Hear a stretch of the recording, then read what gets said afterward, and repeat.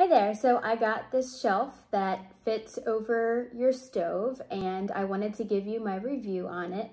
I've already taken it out of the box and assembled it. It literally took me about 30 seconds to assemble it, very easy. Um, and it is 30 inches wide.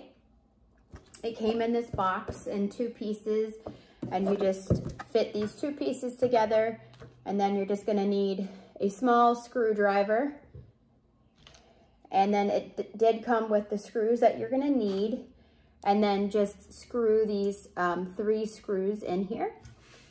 And what you use this for is to um, store your spices above your stove so that they're very easy to reach um, while you're cooking your food.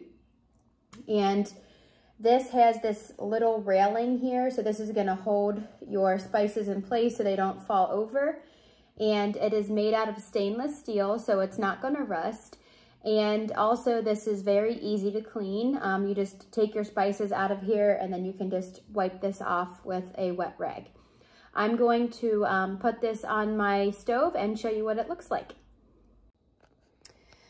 Okay, so I have just placed this on the top of my stove and it actually fits perfectly. It looks very nice and I love how it has organized all my spices and I can display all my spices very easily. So I'm cooking, I can just grab them and um, go along as I cook.